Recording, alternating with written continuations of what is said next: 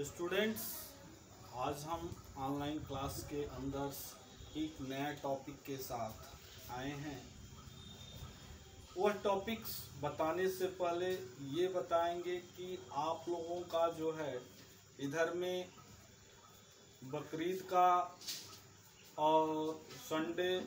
और रक्षाबंधन का हॉलीडे था ठीक अगला दिन ये चार तारीख एक नए टॉपिक के हम साथ आए हैं कोविड नाइन्टीन के दौर में हमें और आपको ये पूरे सिस्टम को एक चैलेंज है कि हमें इस कठिनाई के दौर में कैसे चलना है साथ में हमें अच्छा पढ़ाई करना है अच्छे नॉलेज रखना है और कंपटीशन को भी अच्छे ढंग से क्लियर करनी है ये सारी व्यवस्थाएं ऑनलाइन होंगी जैसा जैसा यह दौर थोड़ा हल्का होता रहेगा वैसे सिस्टम में परिवर्तन होते देख परिवर्तन होते हुए देखने को मिलेगा तो परिवर्तन कैसे होगा हमें और आपकी एक बेहतरीन सोच से परिवर्तन होगा यदि हमारी शरीर स्वस्थ है तो उस स्वस्थ शरीर में स्वस्थ मस्तिष्क रहता है और उस मस्तिष्क के द्वारा यदि हम सही बात सोचते हैं तो हमें जीवन में हमेशा जो कठिनाई दौर होता है वह सही बात सोचने पर हमें उस कठिनाई से मुक्ति मिलती है तो यह जो है कोविड नाइन्टीन जो आपका चाइनीज वेपन के रूप में पूरा देश पूरा विश्व त्रस्त है और उससे हम लड़ रहे हैं और यह विषम परिस्थिति में हम ऑनलाइन क्लास में पढ़ रहे हैं स्कूलों में न जाकर फिर भी उसमें हमें और आपको सतर्कता से सुरक्षित होकर सुरक्षित रहकर अपने आप को चुनौती पूर्वक रहते हुए हर सिस्टम का एक सुटेबल जवाब देना है तो जवाब में यही है हम हों या आप हों सुरक्षित रहते हुए वह चुनौती को स्वीकार किया गया है तो उसका सुटेबल जवाब दिया जाए तो यह सारी चीज़ें तो हम बार बार ऑनलाइन क्लास के अंदर आपको देते रहेंगे बट इस बात पर आपको ध्यान देना है कि आज हम टुडेज स्टार्टेड्स न्यू टॉपिक्स के अंदर क्या टॉपिक लेकर आए हैं उस पर हम डिस्कस करेंगे लेकिन उस टॉपिक स्टार्ट करने से पहले मैं आपको एक बात कहूँगा कि इस चैनल को लाइक कीजिए शेयर कीजिए सब्सक्राइब कीजिए और बेल आइकन्स को ठीक है प्रेस करें स्टूडेंट्स इसी के साथ हम टॉपिक पर आते हैं कि आज हम टॉपिक लेकर क्या है ओके तो स्टूडेंट्स आज हमारा टॉपिक है modern symbols of elements modern symbols of elements आधुनिक संकेतांक आधुनिक एलिमेंटों का संकेतांक क्या है आधुनिक दौर में एलिमेंट तत्वों का जो है सिंबल्स क्या है उस पर हम डिस्कस करेंगे ओके तो ये पॉइंट्स क्या बोल रहा है उसको हम पहले ध्यान देंगे क्या कह रहा है इस पॉइंट्स के अंदर ये जो भी पॉइंट्स है ये सारे एनसीईआरटी e के पॉइंट्स है इन एनसीईआरटी e के पॉइंटों को स्टूडेंट्स यदि लाइन बाय लाइंस यदि आप अध्ययन करते हो तो यह जो है आपको कॉम्पिटिशन्स के अंदर यह सही मार्गदर्शन दिलाता है और आप जो है कॉम्पिटिशन क्लियर कर जाते हैं ओके तो आइए हम ये modern symbols of the elements के अंदर पॉइंट्स क्या बोल रहा है एनसीईआरटी का उसको देखें in order to the write the chemical reactions यानी केमिकल्स रिएक्शंस के अंदर क्या ऑर्डर्स होते हैं conventionally each element is the represent noted by a separate symbol यानी केमिकल्स रिएक्शंस के अंदर कन्वर्टली इच एलिमेंट्स को प्रत्येक एलिमेंटों को रिप्रेजेंटेड कैसे किया जाता है सेपरेटली उस सिंबल्स को हम देखेंगे क्या बोल रहा है ये जो है इन्वेटेड कॉमा के अंदर हम पॉइंट्स को रख रहे हैं इसको ध्यान दिया जाएगा the symbols of an element is the first letter or first letter and another letters of the English name are Latin name of the element okay यानी कह रहा है कि जो एलिमेंट का इंग्लिश नेम होता है उसका first letter or or anothers letters को हम रिप्रेजेंट करते हैं तो उस सिंबल को हम मॉडर्न सिंबल्स ऑफ एलिमेंट्स कहते हैं एक बार फिर इसको हम रिपीट करते हैं यदि किसी एलिमेंट के इंग्लिश नेम का फर्स्ट लेटर उस एलिमेंट का मॉडर्न सिंबल होता है और इन दर वर्डों में कहेंगे कि यदि किसी एलिमेंट्स का सिंबल्स एनेदर्स रूप में यानी लाइटिंग रूप में दिया जाता है तो उस एलिमेंट का मॉडर्न सिंबल्स ऑफ एलिमेंट होता है ओके तो ये हो गया तो हम दो तरह से देते हैं एक तो इंग्लिश नेमिंग के फर्स्ट लेटर के आधार पर दिया जाता है और दूसरा एनेदर्स वर्डों के आधार पर दिया जाता है और तीसरा लेटिंग्स नेम के आधार पर जो है दिया जाता है उसका modern symbol of elements but students उसमें कहेंगे कि सर एक एग्जाम्पल क्लियर करें जिससे कि क्लियर हो जाए कि ये है क्या तो एग्जाम्पल हम देते हैं for example okay first example में फर्स्ट रखते हैं the symbol of hydrogen hydrogen का सिंबल क्या है तो हाइड्रोजन है यहाँ हाइड्रोजन हमने लिखा इसका फर्स्ट लेटर जो दिखाई दे रहा है वह यच है तो यह जो है उसका सिंबल क्या हो जाएगा यच हो जाएगा ओके क्लियर हुआ बिल्कुल क्लियर हुआ नेक्स्ट पॉइंट्स में हम आते हैं दूसरा example the symbol of oxygen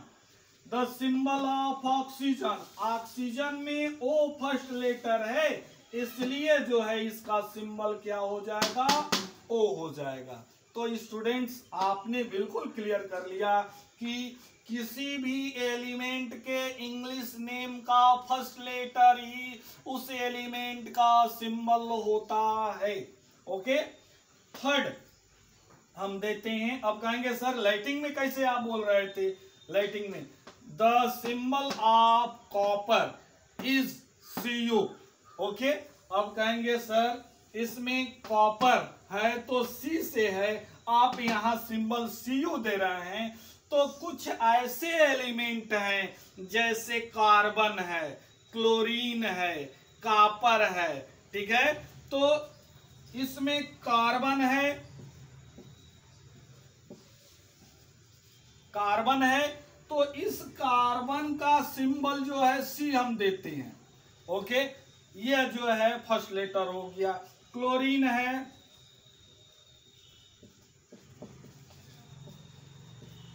chlorine है तो इसका जो है फर्स्ट लेटर जो है सी हो जाएगा अब इसको अलग करने के लिए तो इनेदर लेटर में यल लगा देंगे तो यह सी एल हो जाएगा ओके अब आ जाइए अब लाइटिंग वर्ड्स में हमने क्या कहा यहां कॉपर है कॉपर तो यहाँ सी होना चाहिए ये तीनों के नाम में फर्स्ट जो है लेटर सी तो जो है फर्स्ट एलिमेंट आता है तो उसको जो है सिंबल सी लगा देते हैं एनेदर्स उसको डिफर करने के लिए एनेदर सेकेंड जब लेटर लिखेंगे लिखेंगे तो स्मॉल से लिखेंगे तो वो दे देते हैं सीएल हो जाता है अब यहाँ कापर को देने के लिए इसको लैटिन नेम में दिया जाएगा तो copper the symbol of copper is C U हमने दिखाया है इसमें ब्रैकेट इन में हमने पॉइंट शो कर दिया है यहां first and second letter are it is Latin names ठीक है कॉम्प्रम ठीक है कॉप्रम जो है यह जो है लैटिन नेम है तो इसलिए यहाँ इसका फर्स्ट और सेकेंड लेटर सी यू लग रहा है इसलिए ये लैटिन नेम के आधार पर इसको हम कापर का नेमिंग जो है सिंबल सी यू दिया जाता है ओके अब कुछ चीजें हैं जिसको हम दिखा रहे हैं लैटिन नेम के बेस पर symbols derivated form the Latin names of the elements अब उसका एक्टिंग फॉर्म जो है उसको हम दिखा रहे हैं यहाँ English name of the element symbols Latin name of elements first जो है आपका सोडियम है क्या है सोडियम तो सोडियम है तो इसका सोडियम का सिंबल यस होना चाहिए यस होना चाहिए लेकिन जो है यस नहीं इसको लाइटिंग नेम के आधार पर इसका सिंबल दिया गया है ए तो ये है नाइट्रियम ठीक है नाइट्रियम जो है ए जो है यह फर्स्ट लेटर ठीक है फर्स्ट लेटर यन और सेकेंड ए इसलिए लाइटिंग नेम के बेस पर जो है इसको दिया गया है आपका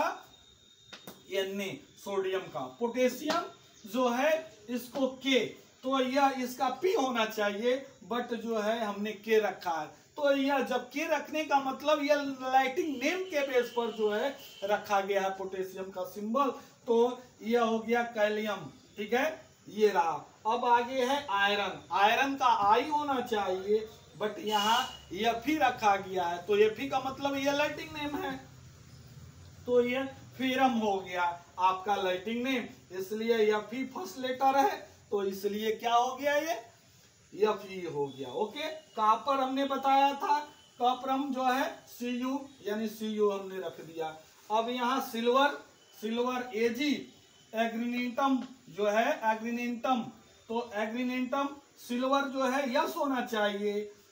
फर्स्ट लेटर इंग्लिश से लेकिन नहीं एजी रखा गया है क्यों रखा गया है कि कुछ एलिमेंटों का फर्स्ट लेटर और सेकेंड लेटर सेम मिलते हैं इसलिए उनको डिफर करने के लिए लाइटिंग नेम के बेस पर जो है उनके सिंबल को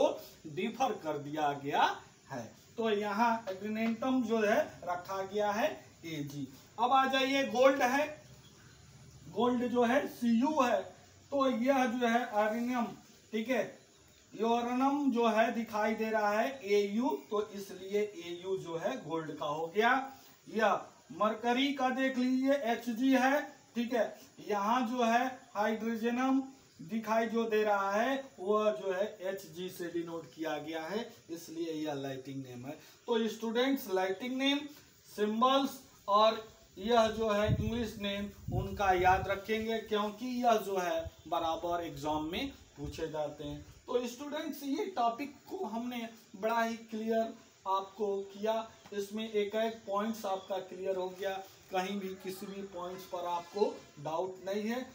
इसी के साथ मैं कहूंगा बार बार इसको कि आप इस वीडियो को अच्छे ढंग से देखिएगा और इस पर जो है होमवर्क्स के रूप में कुछ क्वेश्चन दे देते हैं उन क्वेश्चनों को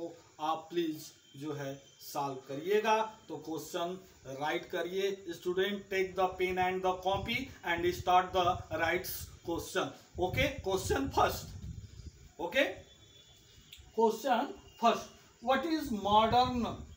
symbols of element? Question है, question first, what is modern symbols of elements? Question second, question second, what is symbol of hydrogen? Question third, what is symbol of potassium element question third what is symbol of gold elements what is symbol of gold elements okay तो students इन क्वेश्चनों को आप solve कर कर check कराइए okay